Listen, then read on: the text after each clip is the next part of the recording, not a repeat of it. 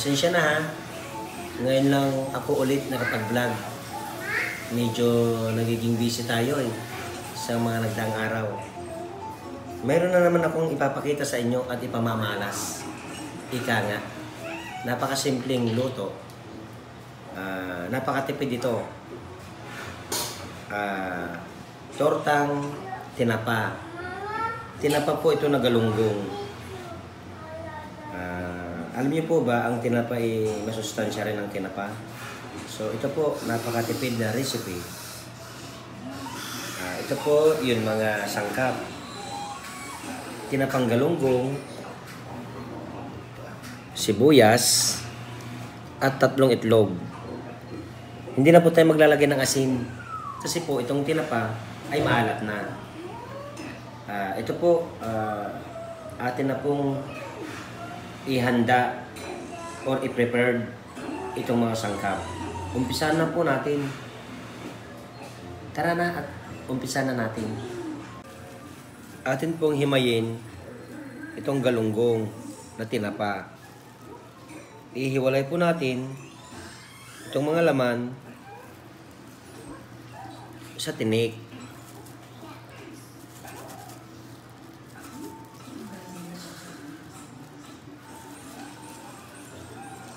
Dapat po wala pong katinik-tinik ha para pag ginalo po natin sa itlog at niluto natin at kinain, hindi tayo matinik. So, pagtsagaan po natin, ihiwalay itong laman sa mga tinik.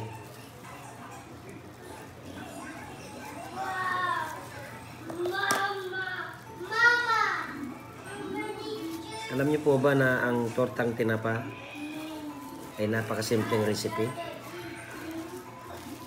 Napakasustansya at napakatipid. Meron ka lang tinapa at may itlog, pwede na nating itorta.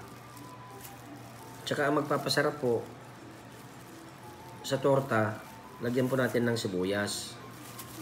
Wala lang pong ibang sangkap kundi sibuyas lang itong tortang tinapa.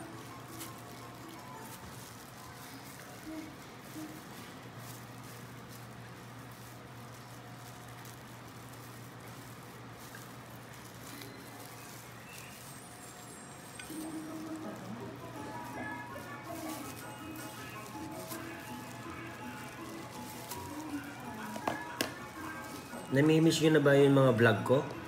Mga katropa? May natututunan ba naman kayo sa mga recipe ko na napakasimple lang? Napakatipid, di ba? Sa panahon ngayon, hindi na natin kailangan yung mga recipe na mga mahala ang mga sangkap. Kailangan, yung mga recipe natin ngayon, yung mga mura lang ang mga sangkap. Para hindi na tayo gumastos, ng malaki.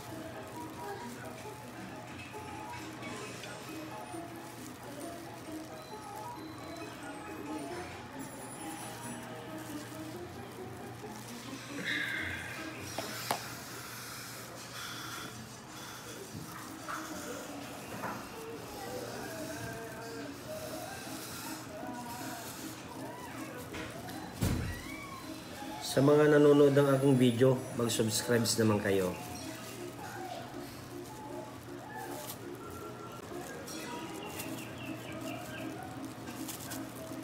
Pero mamaya, pakita mo rin konti pag ina-analyze ko.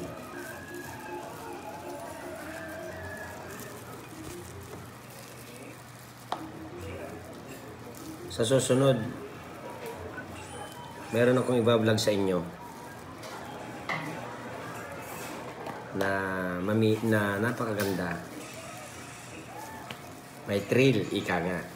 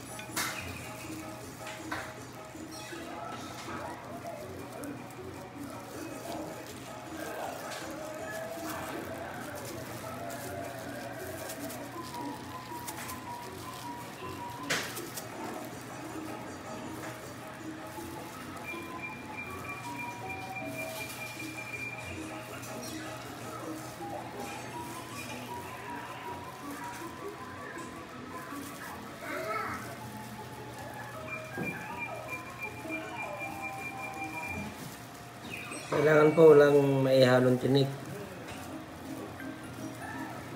Pagtsagaan po natin maalis lahat ng tinik dito sa laman.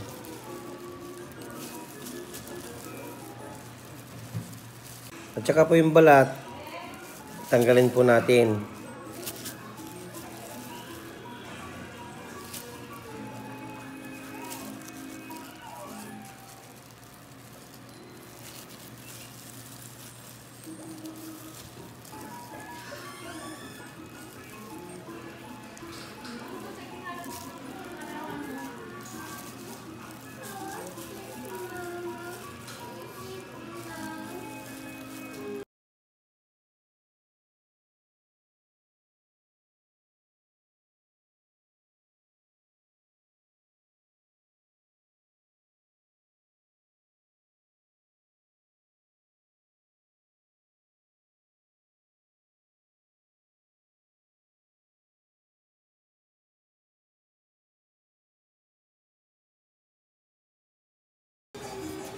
Hiwain ko na po. Kalahati lang po ang ilagay natin. Kasi medyo malaki itong sibuyas. Masarap po kasi ang torta na may sibuyas. Siya po ang magpapalasa. Dagdag pampalasa pa po. Tsaka napakasustansya rin ng sibuyas. At antioxidant pa po ang sibuyas, di po ba?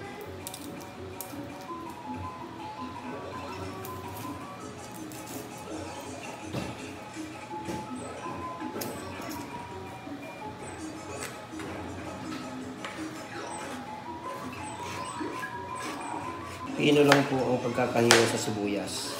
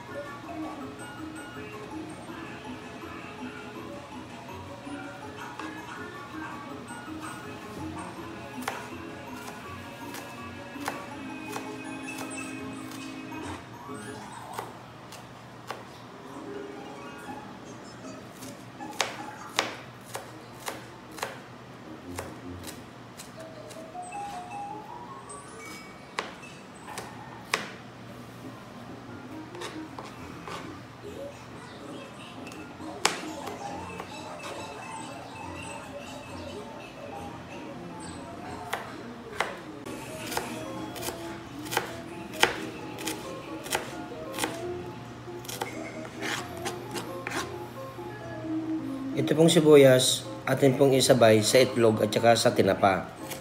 Kaya dapat lang po na pinong-pinong pagkakalot, pagkakahiwa ng sibuyas.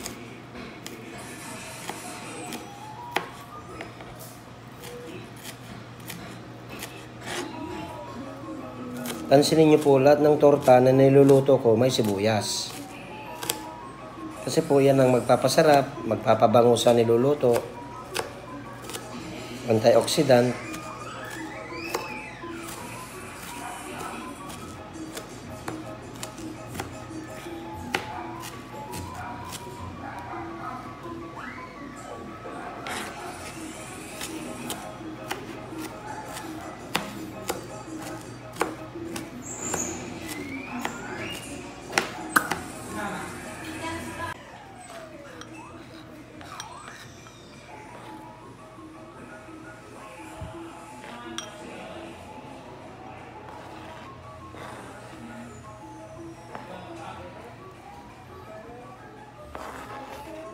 Pinumpino po ang pagkakaiwan ng sibuyas. Para lutong-luto siya.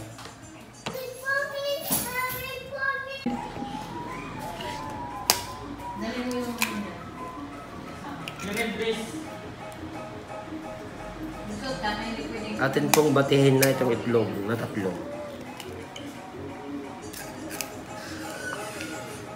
Aminin nyo na mga katropa, miss na miss nyo na ang aking mga recipe na napakasimple.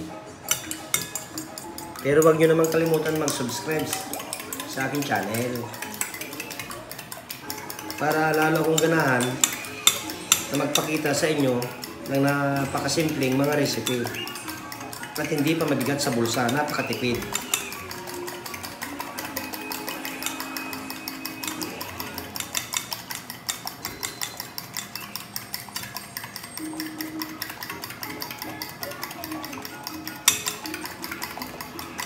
Tayo maglalagay ng asin kasi po itong tinapa, maalat na po siya.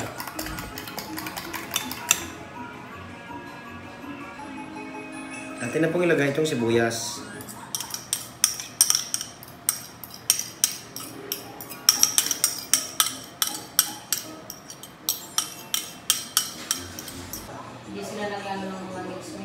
Ito po, atin na pong nahimay itong tinapa. Wala na rin po siyang tinik at wala na rin po siyang balat. Ihalo na po natin sa itlog.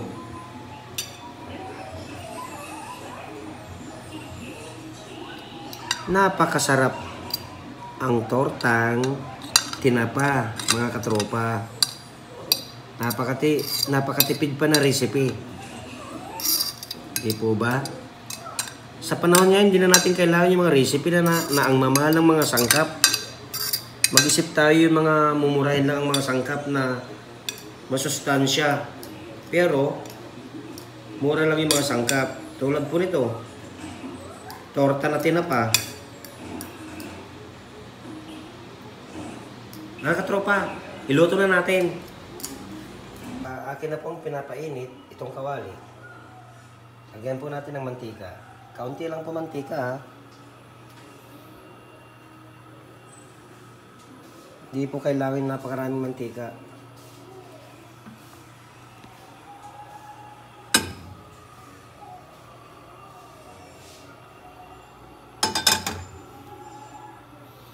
Natatakam na ba kayo? Aminin.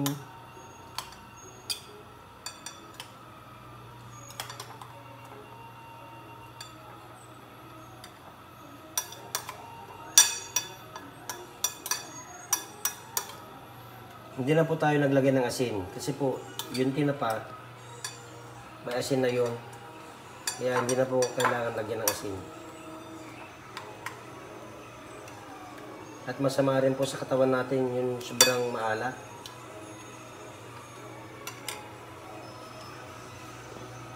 Kailangan pamahin na lang ang apoy.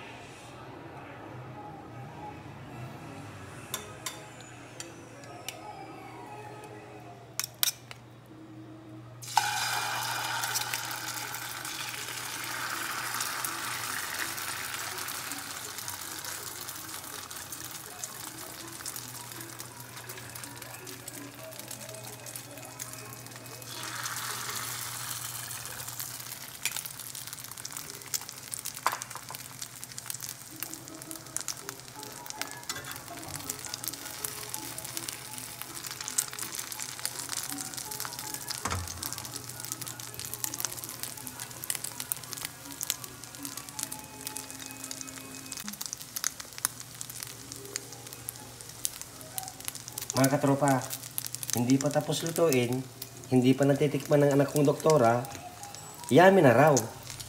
Tingnan nyo ha, hindi pa niya natitikman pero masarap na raw.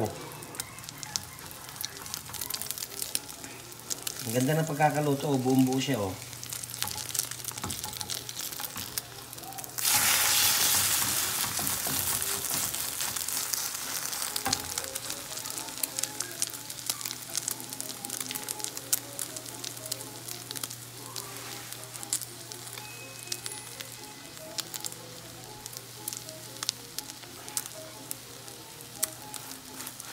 Mas masarap po kailangan medyo tostado natin ng kaunti.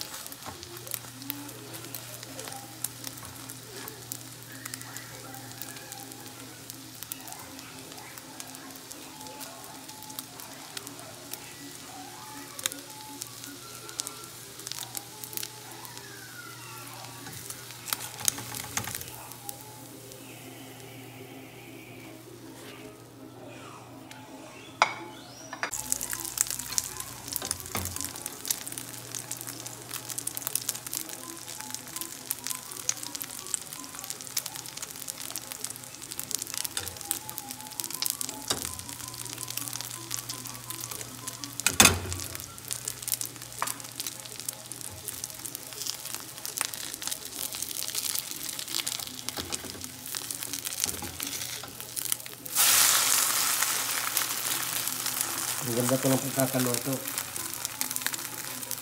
Medyo tostado siya ng kaunti.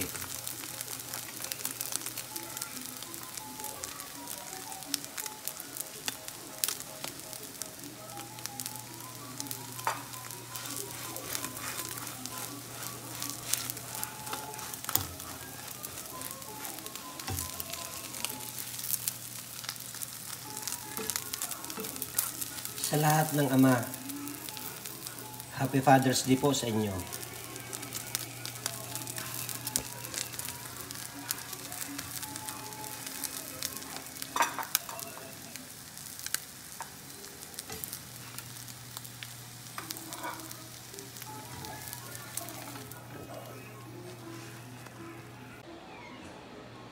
Mga tropa, ito, luto na po itong tortang tinapa. Di po ba? Napakasimple lang na recipe pero napakasustansya at hindi siya magastos. Di ba mga katropa? Alam nyo ba na ang araw na to ay Father's Day pala?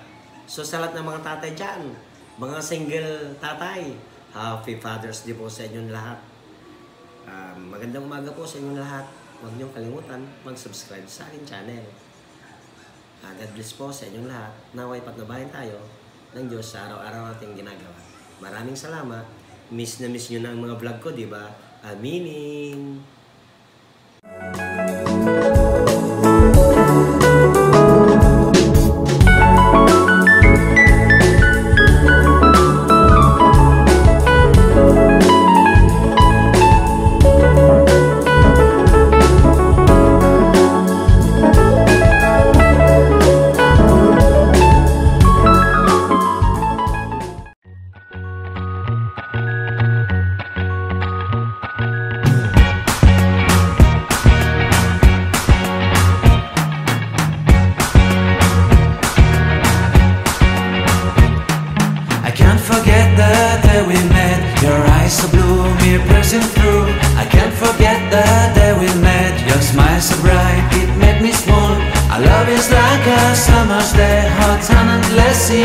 Magic Whenever I see you, all I can think is My summer love. Been waiting for you, my love.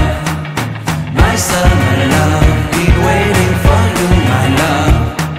I can't forget the day we met. You looked so fly in your red Corvette. Your hair, your look, your everything. When I see it all I knew that you were mine I'm in love with your hair, your lips Your silhouette in the moonlight shine. With my love you won't ever be alone? My summer love Been waiting for you